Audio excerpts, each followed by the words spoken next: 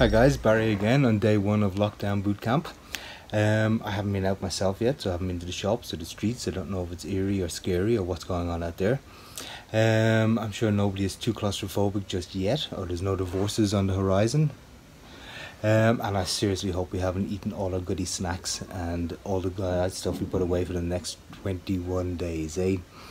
Okay, so day one. Guys, I want to talk to you about the wisdom of food. You know, life is energy, and food provides that very energy. Okay, all life is energy. So whether you take your food purely from plants and veg, uh, fruit and veg, or you take it from meat, or a combination of both, they were all once living. They all once had lots and lots of energy. Okay, so the idea is the closer we can get back to living food, like plants just out of the ground, fruit, fruit just off the trees. Um, you know, obviously we don't go out and start biting cows or anything like that, but the idea is that we provide ourselves with energy that is provided in food, that is in nutrition. And this is where shelf life food really, really falls down. It fails with the first step, it fails at the first hurdle. It doesn't have nutrition. It is tasty, yes, it's convenient, yes, but it's nutrient free it is full of sugars, additives, chemicals, preservatives, colorants, all of those really nasty things. But we'll come back to that later on as we go through this 21 day lockdown boot camp. Okay?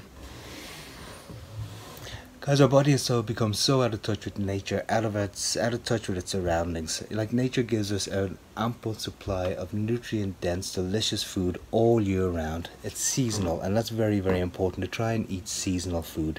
So again, there's food whether you're carnivore, herbivore, vegan, it doesn't matter, there's always food for you provided by nature.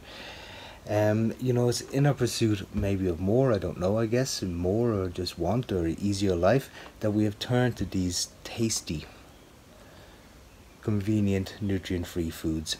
And I think we should remove them from our diet. So maybe if one thing through this um, lockdown, through this coronavirus, that we can return to taking our time, that we can turn to understand the basics of nutrition, that we can return to understanding food, just the basics of food. Food is life so let's slow down. Let's look at what we're eating, how we're eating, and why we're eating, okay? So please don't be scared to get in touch and give us a call and we'll discuss more on a personal note of what nutrition is for you and how you can get the best out of this life and this and your life basically and come out of this lockdown a happier, healthier person.